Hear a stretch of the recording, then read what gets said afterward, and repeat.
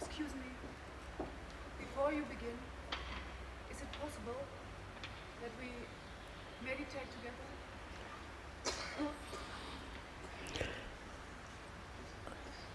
Lady asks, before we begin to talk, would it be possible to meditate together?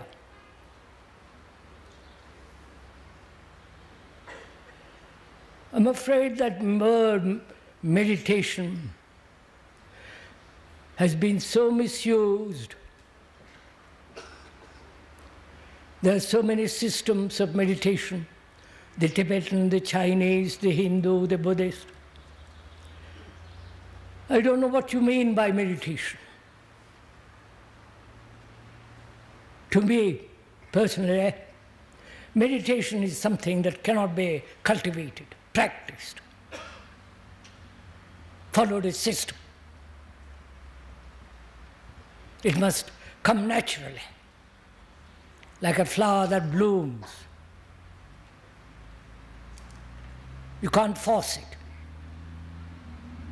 So I don't know what you mean by meditation together.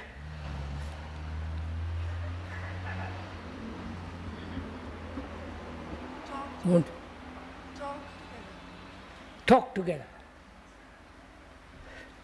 We have been doing that for the last two times that we met here. Would you please sit down? We'll go on.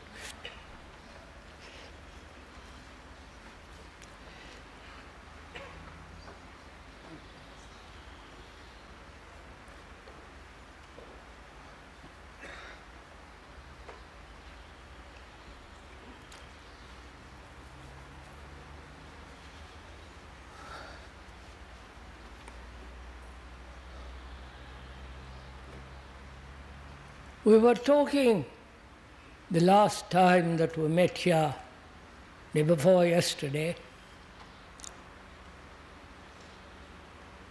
whether there is any possibility in the whole structure and the nature of the mind, in which is included all the feelings, sensations, matter, and so on is there a field where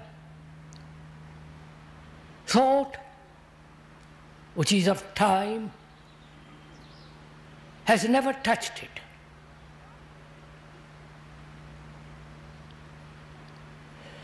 And it is very important, it seems to me, to find that out.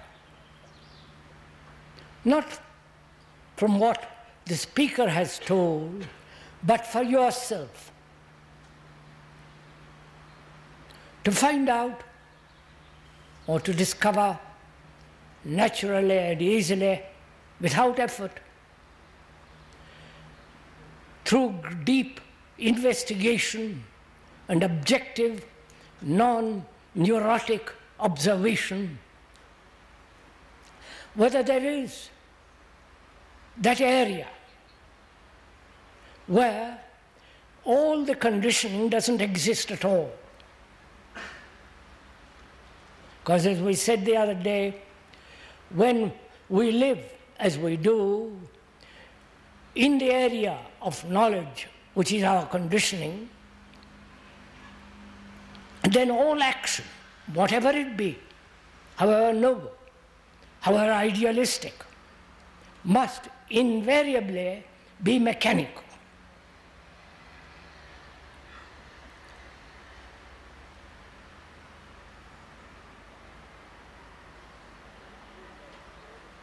Through centuries, um, upon centuries, our brains have been cultivated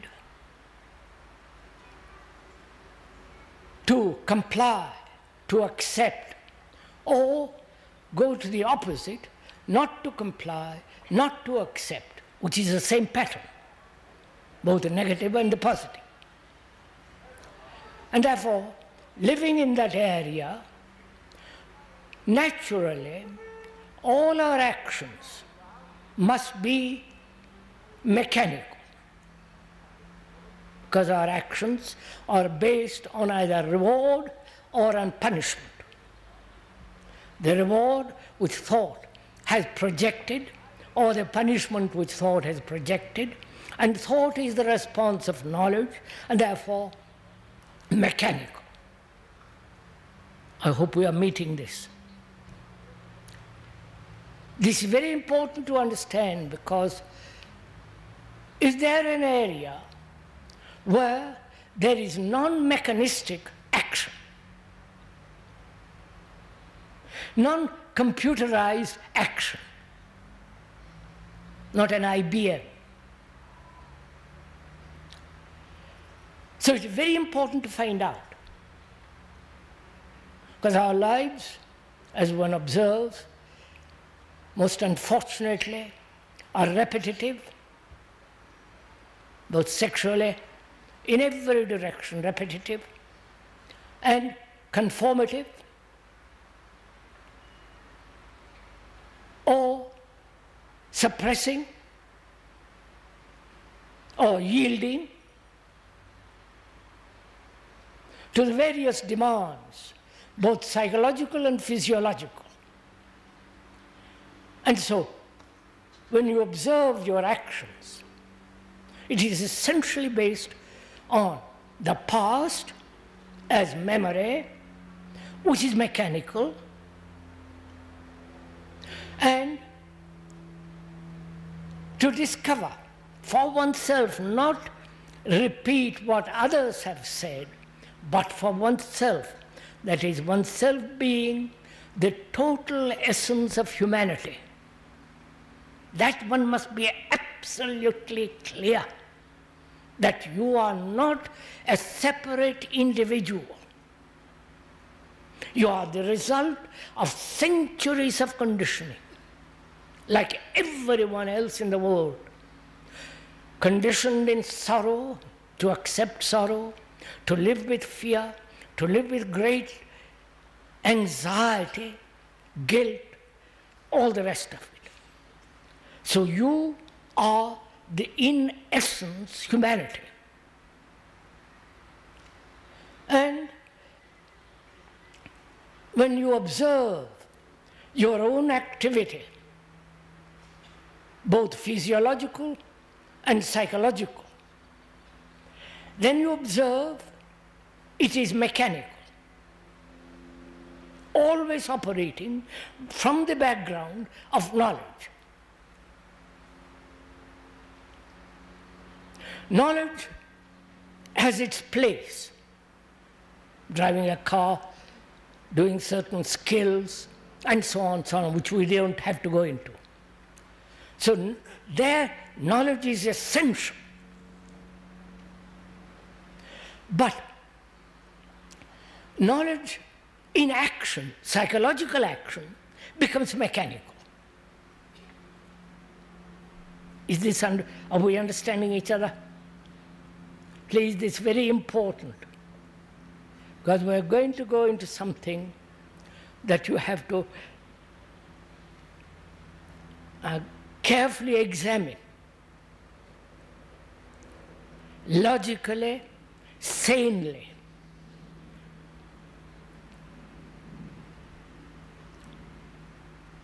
Because we find, as you observe throughout the world, very few human beings change radically.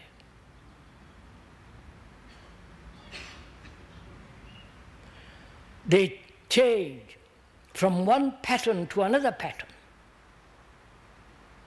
from one religious sanctions to another religious sanctions. They become uh, Tibetan monks or Hindu monks which is the same old pattern repeated over and over and over again. And as one observes, one asks, why doesn't a human being, living as he does, in confusion, disorder, always in conflict, always struggling, why doesn't he change basically. I don't know if you have asked that question of yourself, which is why don't you, as a human being, change most profoundly?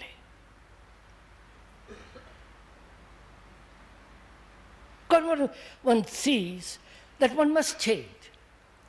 To change not only the society, the corruption, the misery, the confusion, all that is going on outwardly, which is contributed by our inner state, which is our confusion, our disorder, and constant effort, effort, effort. Why do we live in this state? You understand my question? Why?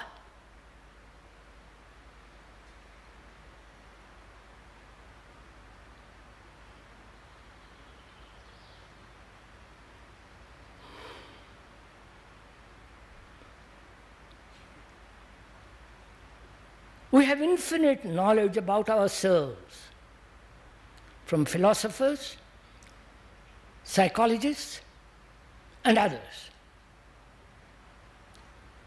There are many facts and analysis of, of human beings.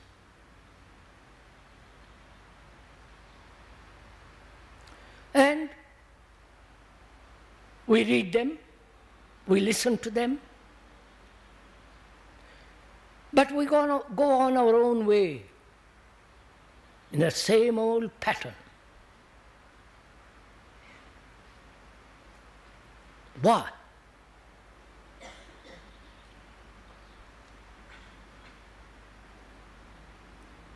Why don't you, as a human being, radically dispel all this?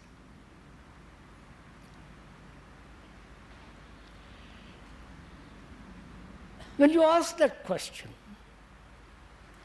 of yourself, you will say probably, I haven't got, the, I haven't got enough energy to battle all this.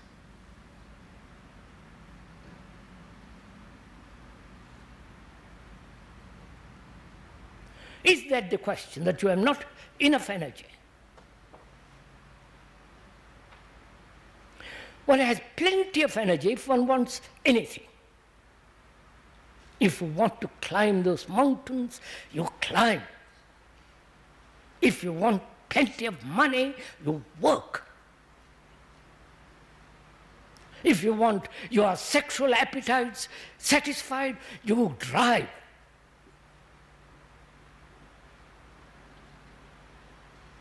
If you want to fulfill your ambitions, you are at it day and night. You go, if you want to find some comfort in some religious teacher, and, the, and those are not religious teachers at all. There is no teacher and a taught in religious matters. Please understand this basically. They travel miles, go through great discomfort, live in utter poverty They've got plenty of energy. But somehow, that energy is dissipated in doing all this, in doing something that's not at all worthwhile. The doing of something which is the repetition of a pattern which is not of their own.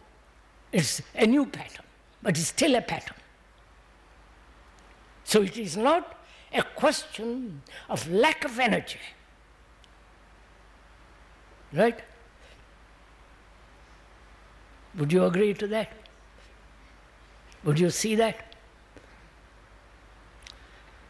Oh, and is it a direction? You understand? To have a direct direction in life. like as you have a direction, if you want to become an executive, a foreman, an expert of this, or you have a you have a, an end in view, a directive. And is there a directive in the psychological field at all? Please, and this is very important for us to understand this. We are used to directives, more purposes, an end. And we are asking, is there in the psychological field a purpose at all?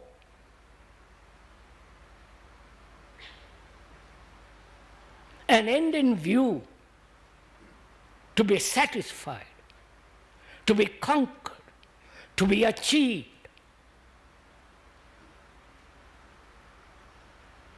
So one must go into that question very deeply.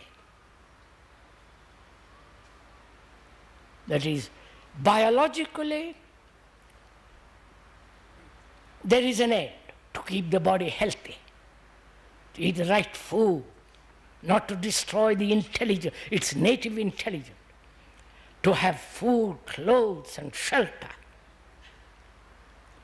And biologically to be secure Otherwise, you can't, the brain can't function actively. So there is that biological necessity and which becomes a purpose, an end. Now we're asking, is it the biological instinct moving towards psychological state? You know? which says, I must have a purpose. What is the meaning of life? What is the end? What is it all about?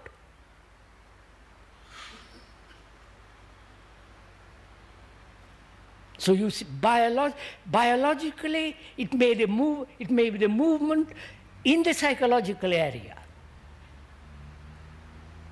And in the psychological area, there is, may be no end at all.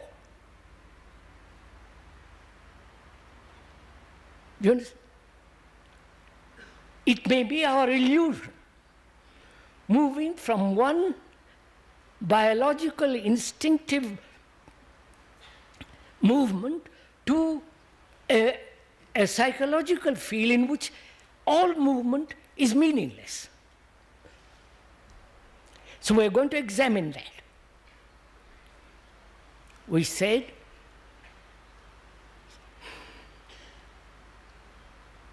human beings, as they are conditioned now, demand, seek, pursue an end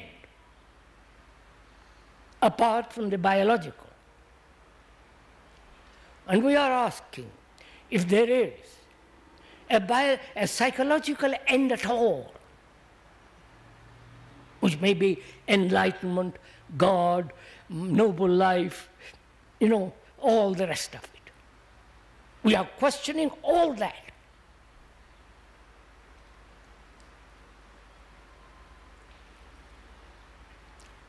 What is the psychological field? You understand? Inwardly, what is that?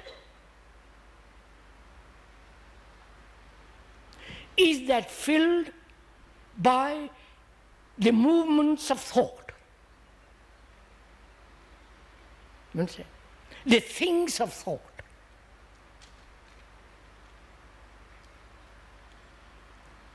Is that psychological field which is our consciousness, human consciousness, is that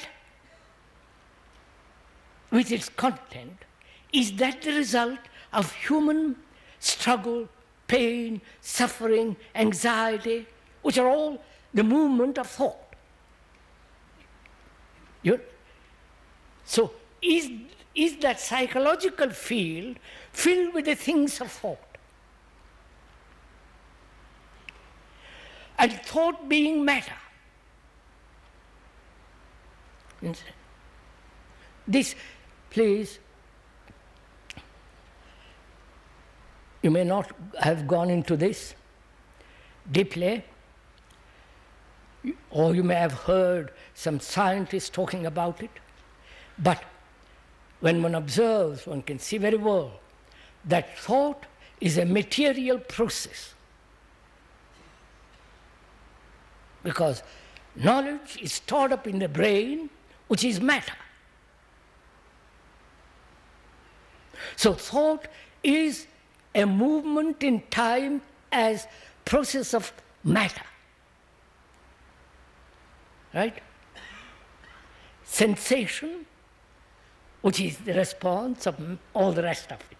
So there is in the brain a movement of thought, all the time operating, mechanistic, endlessly going on and on and on while you are awake and also while you are asleep. Dreams, all that is going on all the time. And that is our psyche. You understand? Realizing the confusion within that area, thought says, is there a purpose? Is there an end? Is there a goal? Is there a freedom? You understand all this? I hope we are meeting all this, are we? Please, for this morning or a few mornings, put away all your prejudices Mm. All your anxieties and demands, sexual, this, that. Just listen. Would you? I'm telling you something lovely. Something which is effortless. Something very beautiful. Just listen to it. Don't fight it. Nor accept it. Just, you know, as you listen to the river, just listen. And then the, you will find if the seed is true, it will take place. Then it will blossom.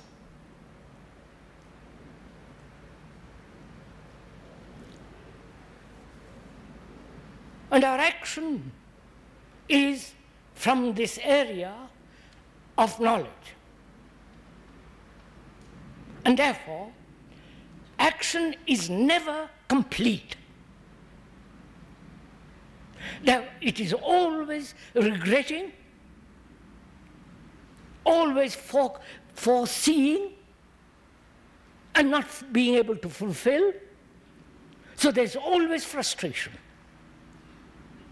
Right?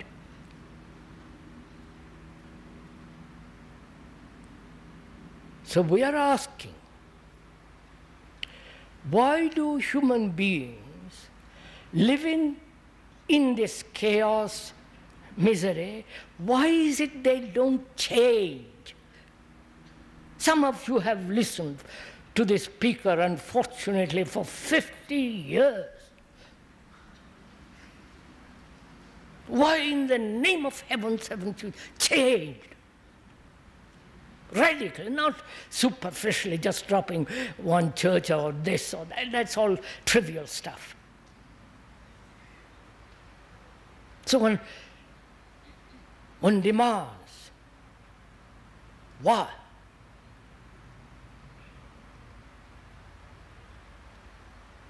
We said it's not the lack of energy.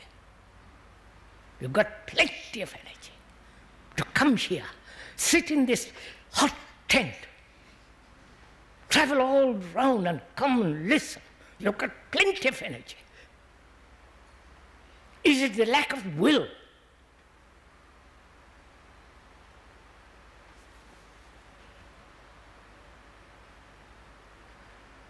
Will implies, no, um, let's begin slowly. What is will? I will do this. I won't do that. I must and must not.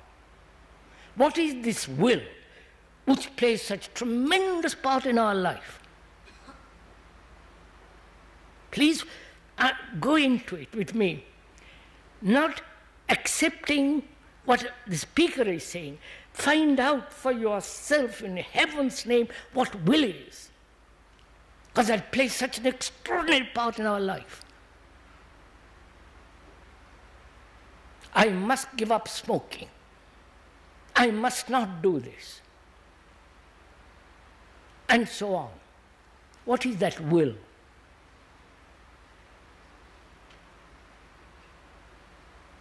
It's a movement, isn't it?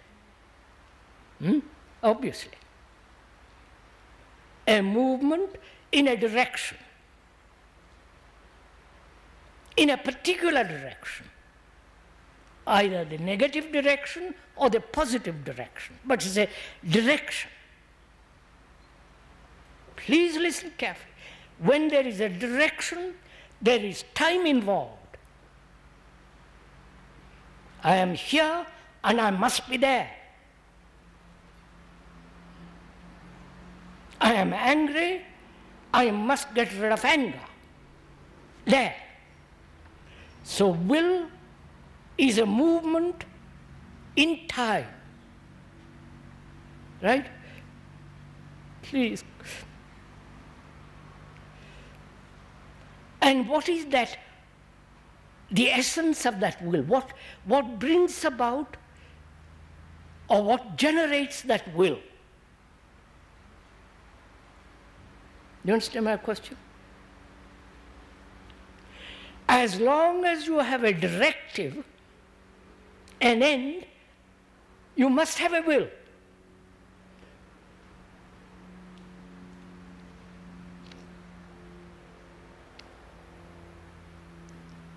So, what is the nature and the structure of will?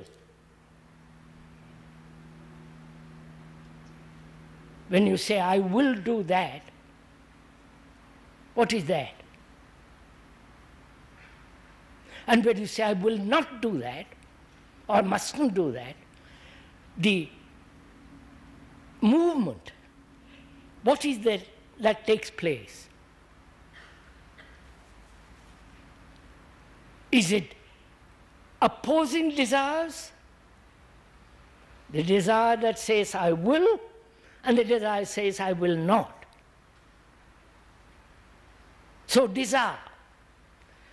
Desire strengthened, concentrated, is will. Right? Opposing. Or completely unified. Follow? So, what is desire? Please listen, you understand? We are used to being conditioned to exercise will. You, you smoke, begin to smoke gradually, it comes into habit, and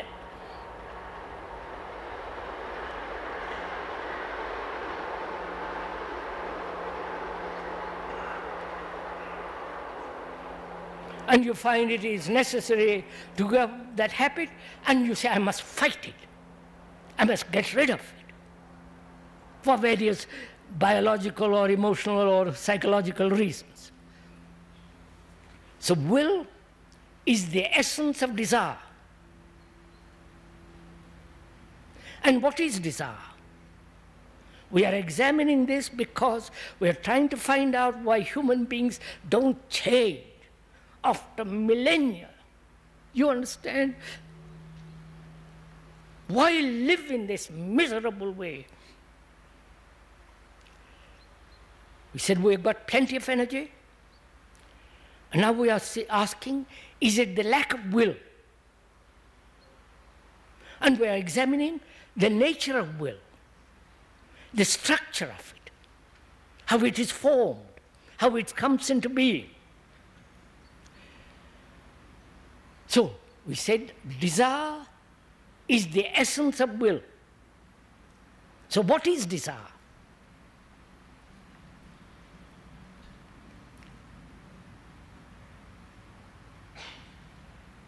Please examine through my words, speaker's words, the issue in yourself. Desire is sensation plus thought plus the image which thought creates. You understand? Sensation, seeing something and want seeing, then the thought taking over this observation, then thought creating the image. This sensation plus thought plus, this, plus the image. Right? That is desire. From that, all our activity of will takes place. So the question is as long as there is a will, there is a directive, and therefore movement towards that direction, positive or negative. And that is the pattern which we are used to. Having, having sensations, thought, and thought plus sensation creating the image. The image that I must be that. The image that I must not be that. You follow?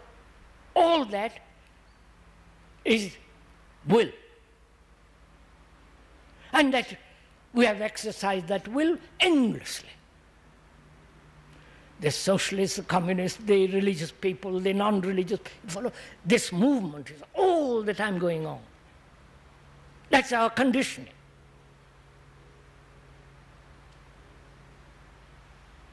Which is, in the psychological field, this movement of desire plus thought and image is constant. And as long as that mechanistic process goes on, there cannot be change. There cannot be psychological deep revolution. So, how can this movement come to an end? You understand my question? I wonder if you understand all this. Is this be becoming a bit difficult?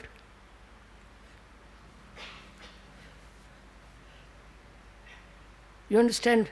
I'm a human being. I've lived in the pattern of agony, suppression, quarrels, violence, bitterness, an occasional feeling of tenderness, occasional sense of something which I've dreamt of or dream, I feel immense, all that. I've lived like that as a human being. and I say to myself, why am I living this way?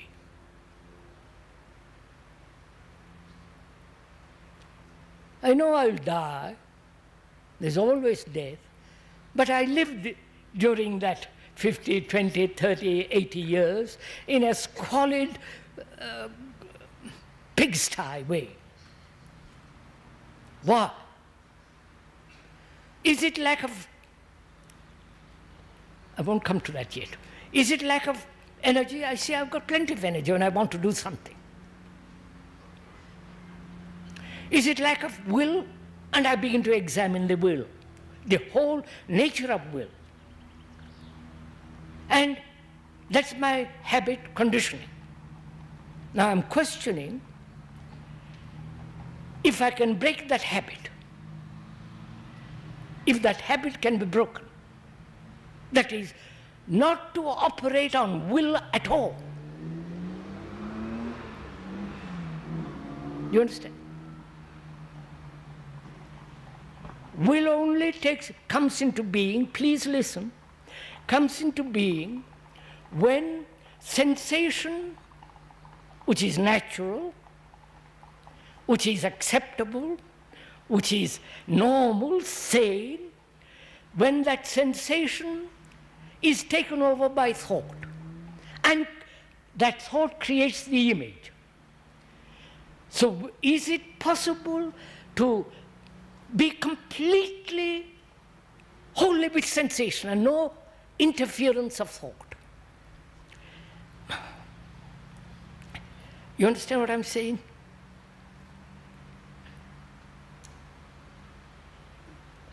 You see a beautiful house, beautiful woman, nice man, see the hills and the glory of the earth.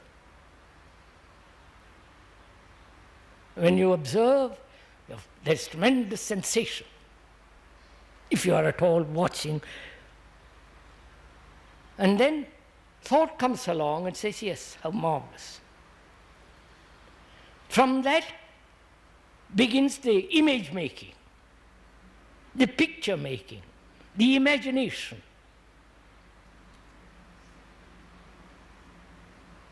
Now, is it possible to have this complete sensation, which is normal, healthy, sane, and not let thought seep in? You understand?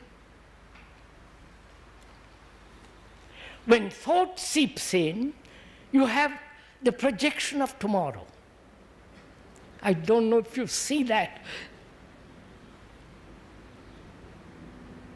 You see something extraordinarily beautiful. And all your senses are awake. Then thought comes along and says, I must have it tomorrow, which is the image making. The pleasure, you follow? The delight of something beautiful. Thought has taken over, created an image, and therefore there is tomorrow. You understand? So the tomorrow is the process of time, which is thought. So in the psyche, there is only sensation, no tomorrow. I wonder if you see this.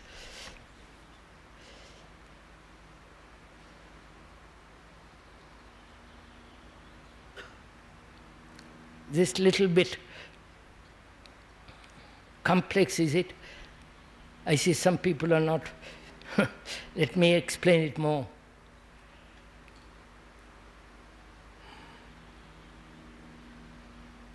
We live in the hope of tomorrow. Right? Tomorrow to us is tremendously important.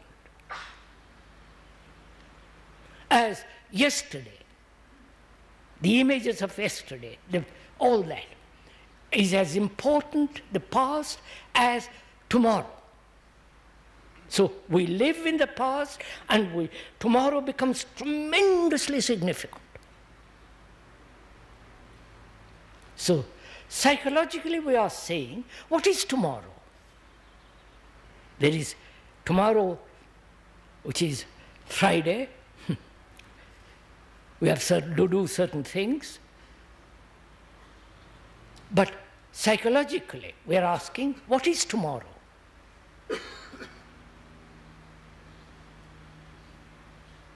tomorrow is the directive. Please do see the beauty of this.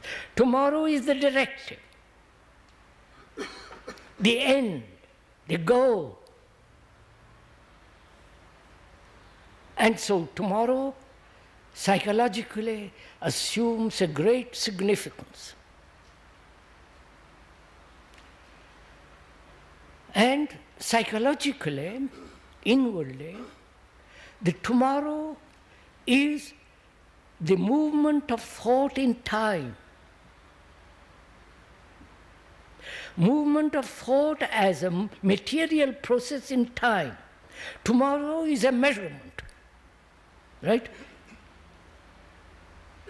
Where there is a measurement, there must be illusion.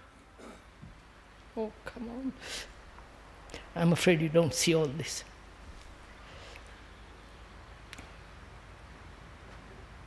Look, measurement means comparing.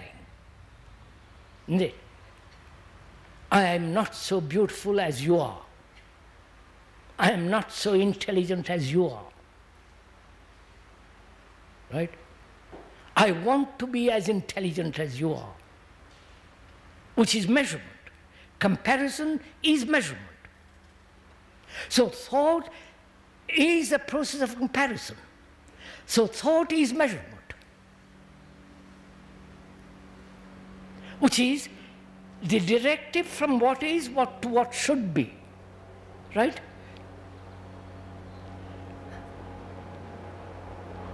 Now, is there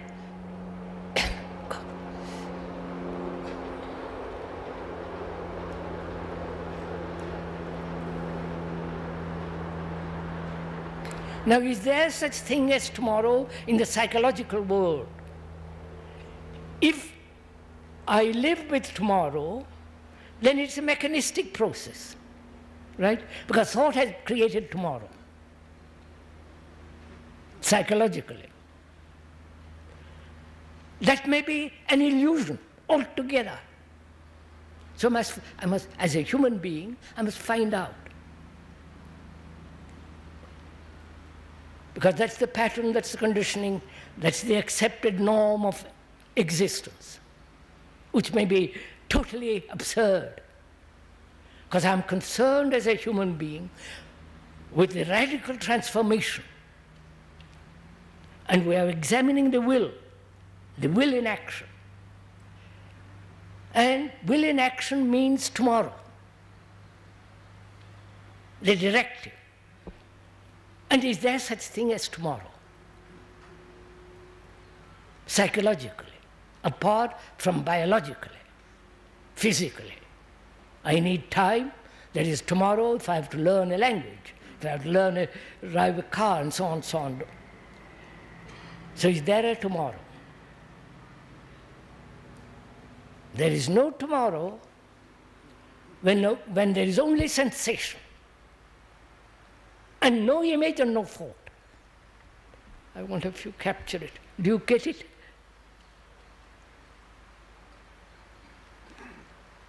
See, people, especially so called religious people, the monks throughout the world, have said sensation is totally wrong, control it. Because sensation leads to desire. And desire means the woman or the man. God cannot accept a man who has desire. You know, you've heard all this stuff put in different words. Therefore, suppress desire. Therefore, control all your sensations. Because if you don't, you are in, in the devil's hand. So we are saying something quite opposite, which is sensation is natural.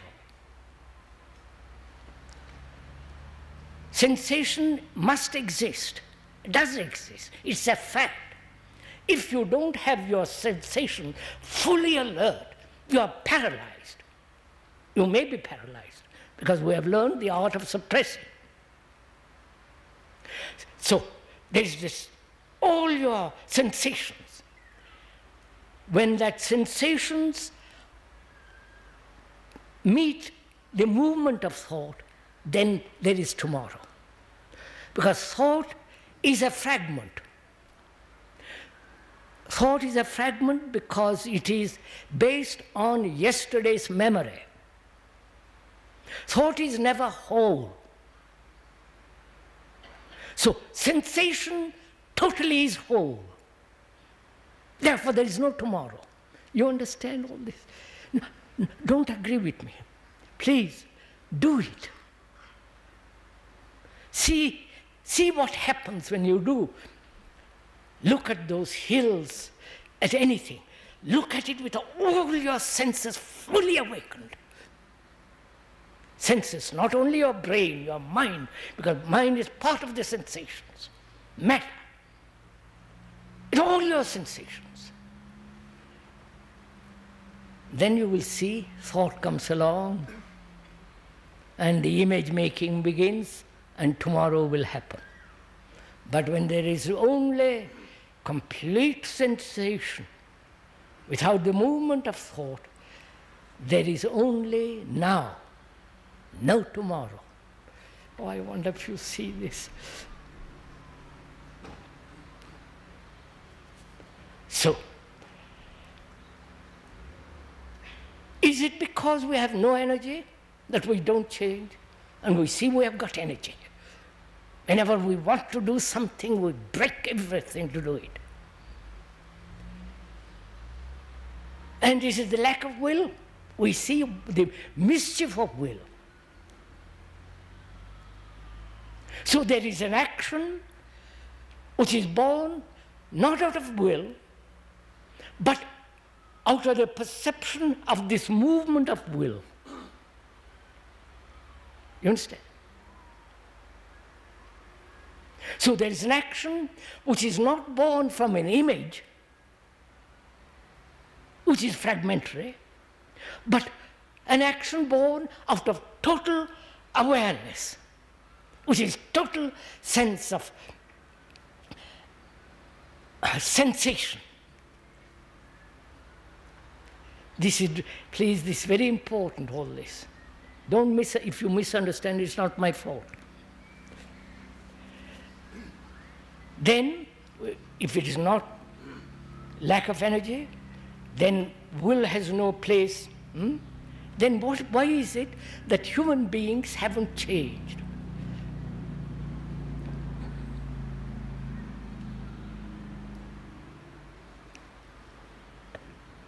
Is it that they're always thinking of reward and punishment, which is the motive for our operation? We are brought up from childhood on that basis. Reward if you are good, punish if you are not. Reward if you struggle, uh, climb the ladder, you are rewarded. You become the executive or oh, the president of God knows what else, or the bishop. So our conditioning is based on reward and punishment, which is the motive. A motive based on reward and punishment. Motive means a movement. The word itself means a movement. See what is implied. Moment you have a motive, the movement is time. So you say, I will take time to change. If it is not reward and punishment, then it is, it is I'm going to heaven or whatever you reward. So, where there is a motive, there is a direction, and the direction is set by thought, and so tomorrow. So, as long as there is a motive, all action is incomplete. Isn't it? If I love you because you give me food, this, that, and the comfort and all the rest of it, is my motive. It isn't love. So, is there an action without motive? You understand my question?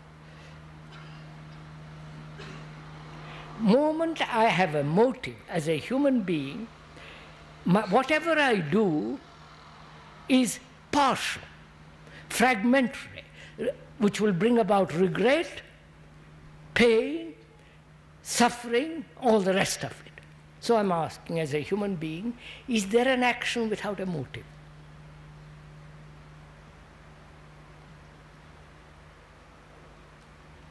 Don't translate it into saying love. Because that word is so abused, so heavily laden. Don't bring in that word. We'll discuss it another time. So, is there an action in which there is no tomorrow, no will, only total energy? Isn't it? When you have total energy, there's total action. You understand? I wonder if you get this. Look, we are fragmented human beings. Go to the office, or the factory, or the garden, and that's a field by itself. And our family is a field by itself. My ambitions, my desires is a, another fragmentation. So we live in fragments, right? That's a fact. And so, any action born of those fragment, fragmentation must be inevitably incomplete and therefore always destructive, frightening, regretting, sorrow, and all the rest of it. So I say, as a human being, is there an action in which all this doesn't exist? You understand? You must ask that question. You're not asking it. I am asking it. If you ask it, not superficially, because this is a tremendous thing, this, to discover. You will find, as a human being, a human being who represents the whole world of humanity, you will find there is an action which is not of tomorrow, the ideal, the directive, but an action that springs from that total energy which is total sensation. So, then what is it further that human beings have, for what reason further, that human beings have not changed? You understand? We said it's lack of energy. Is it lack of energy? Is it will? Is it incomplete action with which you are familiar? And is there another thing that is impeding why human beings don't fundamentally change?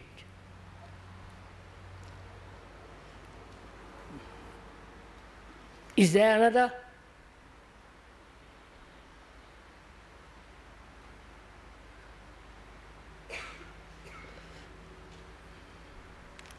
Of course, there are many others will take the fundamental things, not superficial fragmentary things. Energy, will, complete action, and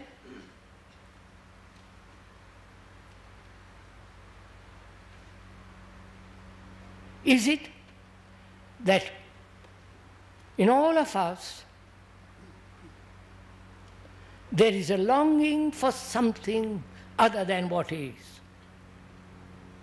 You understand my question? A longing of something beyond all this mess a happiness, a deliverance, something that thought has never touched it. You understand? Something eternal, nameless, doesn't matter what name you give it. Is that one of the reasons that we don't change? You understand my question?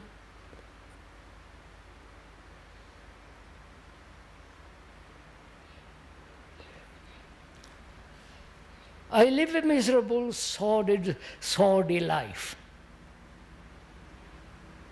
And I see it around me. Everybody more or less the same pattern. And my parents, grandparents, past, past, past parents have lived the same way. And I feel I cannot escape from this. I feel that I'm chained, bound. And I want something beyond all this. And that may be one of the reasons I don't change. A capito. That is very important. Oh, I'm so hot. Cioè lei dice, noi non cambiamo perché di questa cosa facciamo una nuova direzione, un nuovo soggetto di volontà. Sì, un momento, parliamo. You understand? The priests throughout the world, the Christian, the Buddhist, the Hindu, the Tibetan priests, have always said there's a promise of something greater.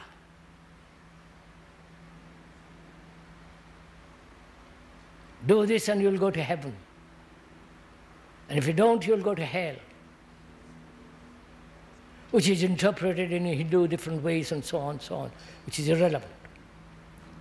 So, our minds are conditioned heavily by something other than what is. The other is the promised land, the never, never land, the heaven, the enlightenment, the nirvana, the moksha of the Hindus. Because I don't know what to do with this, with what is, and my whole longing is that. Put it in different ways. It may be the communists may want perfect state, perfect environment. It's the same problem. You understand? It's the same issue, only put in different words. The tomorrow.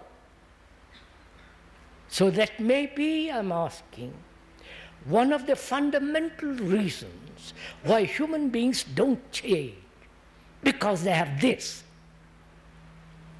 the perfect highest principle, called in India Brahman, Nirvana by the Buddhists, heaven by the Christians, and so on, so on, so on. That may be one of the fundamental reasons why human beings don't change. The perfect ideal, the perfect man or woman. Which means the what is is not important, but that is important. The perfect ideal is important.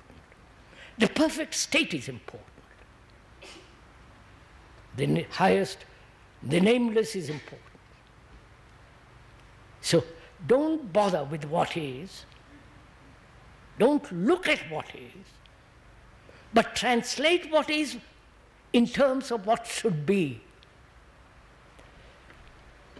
You understand all this? I hope I'm getting at you.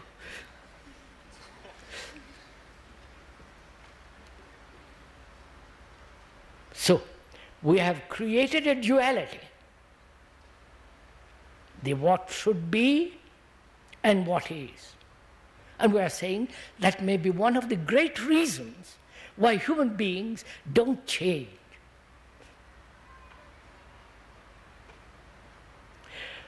When there is this division between what is and what should be, the highest, then there is conflict. Right? The Arab and the Jew division. Wherever there is a division, there must be conflict. That's the law. So I've, I have, uh, be, we have been conditioned in this division to accept this division, to live in this di- division. The what is and what should be. The what should be has been brought about because I don't know how to deal with what is. Or the what should be is a lever. You understand? To get rid of what is. So it's a conflict. So why does the mind has created the the what should be. You understand my question? And not be concerned totally with what is. Why, have, why has the mind done this? Why has thought done this?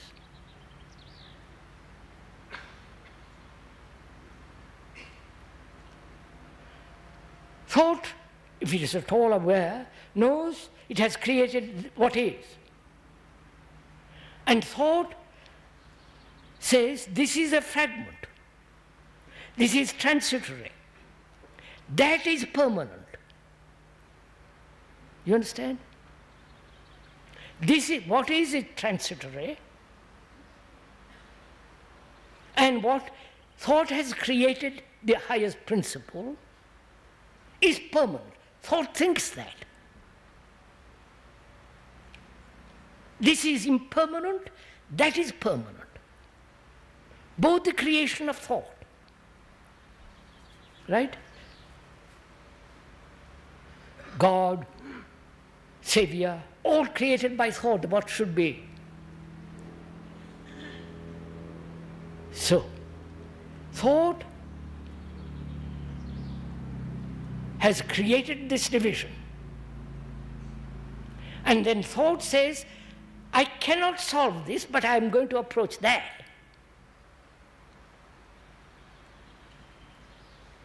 When, when you see the truth of this, that doesn't exist. Only this remains. I wonder if you see this. Right? Do you see this? Thought has created the perfect ideal, the perfect state, the perfect nirvana, the perfect moksha, perfect heaven.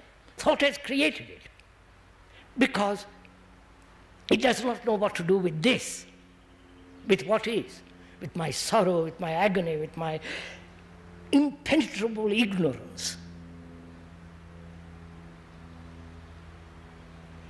And so the thought has created this division. Do you see the truth of it? Not the verbal agreement, not the accept- logical acceptance of this, but the truth of it. Then, if you see the truth of it, that doesn't exist. The ideal, the perfectly, that doesn't exist. Because you know nothing about it. It's a merely a projection of thought. So, you have the energy then to deal with what is. Instead of going, losing that energy in there, you have the energy to deal with, with what is happening. You see the difference? Oh, for God's sake. Do you see it? So you have this energy to deal with what is. Then you have to learn how to look at what is. You understand?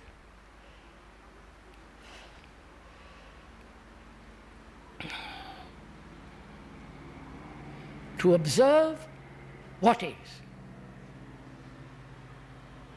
Therefore, you have no longer the duality of what should, should not be, only what is. You are beginning to see the, the implications of it. When there is no what should be, the highest principle, you have only this. This is a fact. That is not fact. So you can deal with facts.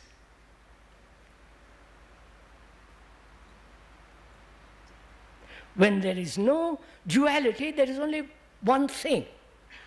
Say, for instance, violence. There is only violence, not non violence. Right? The non violence is what should be. So, when you see the truth of it, there is only violence. Right? Now, you have the energy to deal with that violence. What is violence? Okay, go into it with me for a moment. Violence, anger, competition, comparison, imitation, imitation being I am this, I must be that.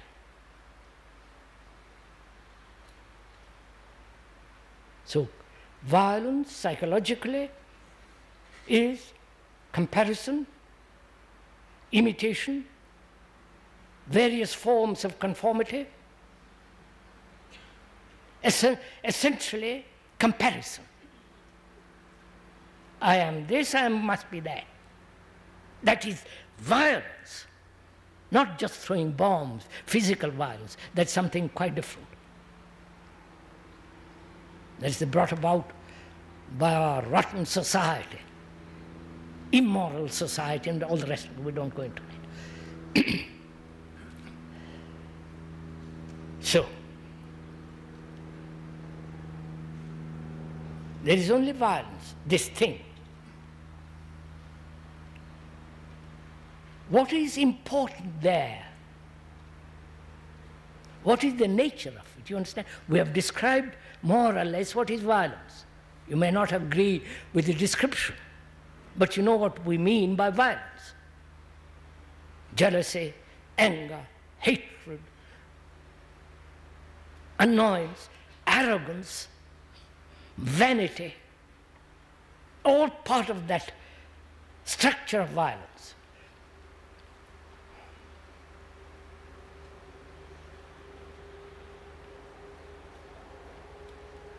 That violence comes with the picture, with the image I have. That's part of my image.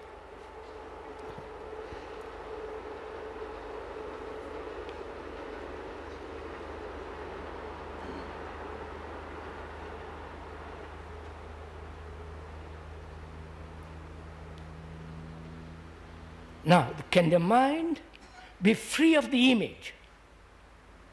You understand? As long as there is an image, picture, I must be violent.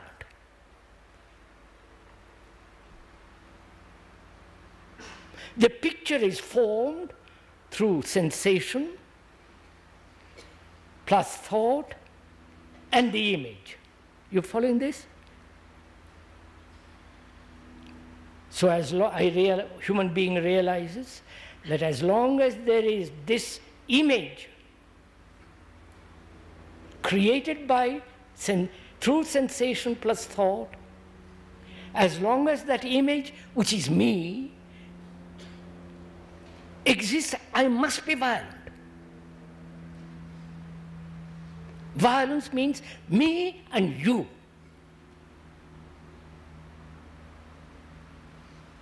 We and they. You know, that's so. Violence is there as long as this image exists. That image is sensation thought. So there is no image if there is only complete sensation. So you can deal then with what is. You understand? I wonder if you understand this. Look, I'm angry or I hate somebody. I don't, but we'll take that as an example. I hate somebody because he has done something ugly, hurt me, all the rest of it. My instinctual response, being a fairly intelligent, fairly normal human being, say, I mustn't hate him, it's bad. I have now two images. I hate and I mustn't hate. Two images. So there's a battle between these two images. One says control, suppress, change, don't yield, mm, yield. You follow that goes on all the time as long as these two images exist. And I know the image is formed through, I've realized very deeply, through Sensation plus thought. That's a fact. I've realized that. So, I put away non hate. You understand? I've only this feeling of annoyance, anger, hatred. What is that feeling? Created through the image by some action of another. Right? You have done something to the image, which is me. And that image is hurt. And from reaction of that hurt is anger. And if I have no image, thought, sensation, if I have no image, you don't touch me. You understand? There is no wounding. There is no hate, which is what is. Now I know, I'm aware how, what to do with the what is. You understand? Have you got something up?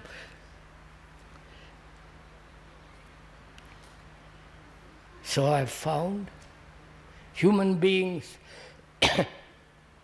don't change because they're wasting their energy. Don't change because they're exercising their right of will, which they, they think is extraordinary, noble, which is called freedom of choice. And also, they don't know what to do with what is, and therefore project what should be. And also, maybe because that the, the nirvana, the moksha, the heaven is far more important than what is. You follow? These are the blocks that human beings don't change. Why do they don't radically transform themselves? If you have understood this deeply, you understand with your blood, with your heart, with your all your senses, then you will see there is an extraordinary transformation without the least effort.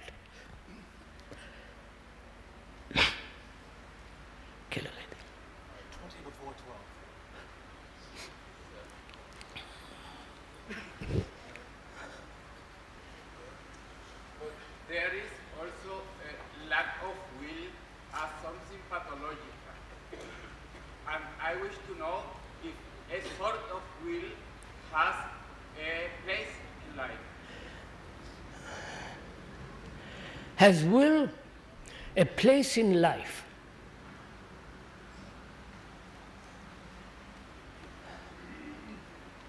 Would you give me two minutes rest?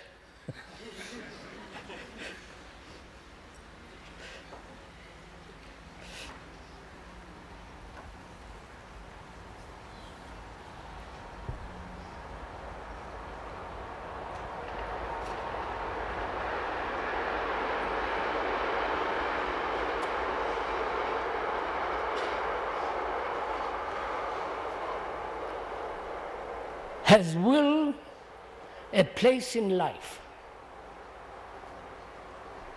What do you mean by life?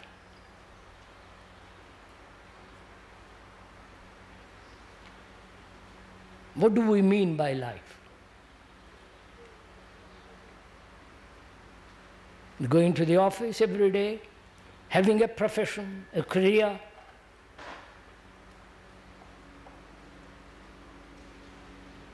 the everlasting climbing the ladder, both religiously and mundanely, the fears, the, tre- the agonies, the things that we have treasured, remembered. All that's life, isn't it? Right? All that is life, both the conscious as well as the hidden.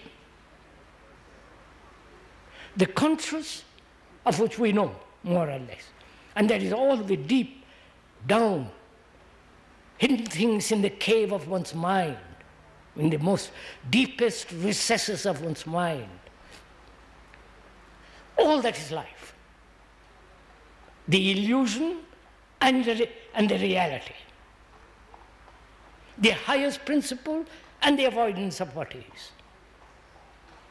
The fear of death, the fear of living, fear of relationship, all that what place has will in all that? That's the question.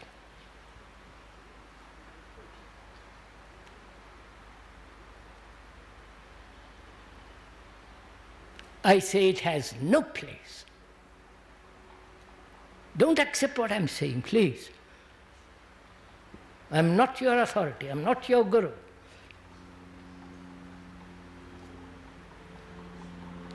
All this, the content of one's consciousness, which is consciousness, is created by thought, which is desire and the image.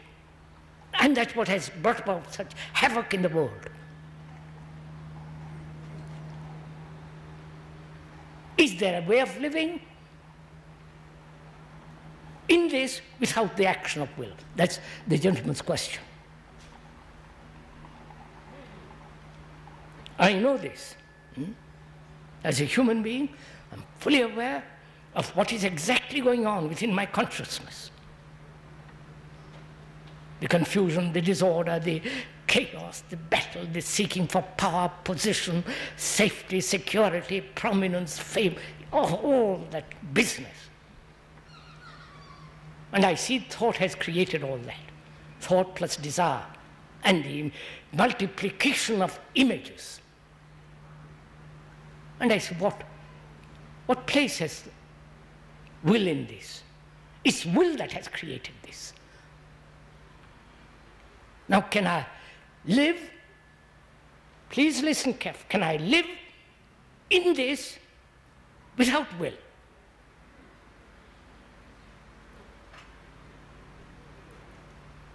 Biologically, physiologically, I have to exercise certain form of energy to learn a language, to do this and that. There must be certain drive. Here, I see all this. And I realize, not as a verbal realization, as a description, but the actual fact of it. As factual as a pain in the leg. I realize it and I say this is the product of thought as desire and will. And can I, as a human being, look at all this, transform this without will.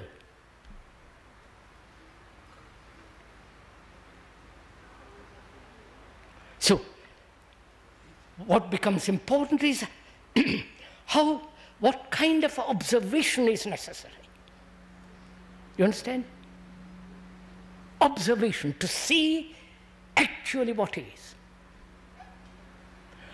Is, um, is the mind capable of seeing actually what is? Or does it always translate into what should be, what should not be, I must suppress, I must not suppress, and all the rest of it? Right? So, there must be freedom to observe. Otherwise, I can't see. Right? If I'm prejudiced against you, um, or like you, I can't see you. So freedom is absolutely necessary to observe. Freedom from my prejudice, from my information, from what I've learned. To look. To look without the idea. You understand? Just but I haven't finished. To look without the idea. As we said the other day, the word idea comes from Greek, which means to observe, not what we have made of it. The root meaning of that word is to observe, to see. When we refuse to see, we make an abstraction and make it into an idea. So there must be freedom to observe. And in that freedom, will is not necessary. It's just freedom to look. Which is, may I put it differently?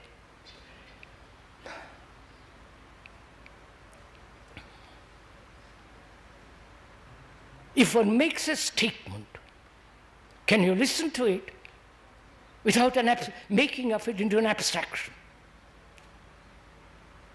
Do you understand my question? I make a statement. Speaker makes a statement. As the ending of sorrow is the beginning of wisdom. The speaker says that. Can you listen to that statement without making an abstraction of it? The abstraction being, is that possible? What do you get from it? Is that how to do it? Those are all abstractions and not actually listening. You, so, can you listen to that statement with all your senses? Which means with all your attention. Then you see the truth of it. And the perception of that truth is action in that chaos. Got it? That's enough for this morning, isn't it?